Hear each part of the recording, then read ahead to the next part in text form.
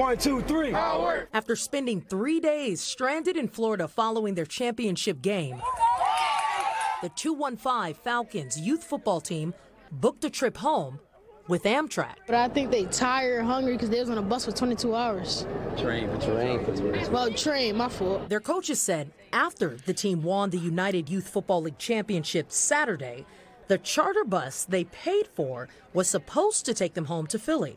Then, never showed up.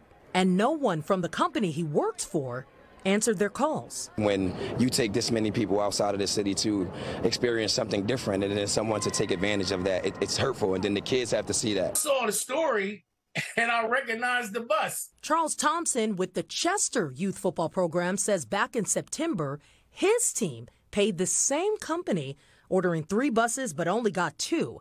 And he says the owner did promise a refund. Yeah, I'll give it to you. I'll get it to you like the first or second of December. So I've called him since. He has not returned my call.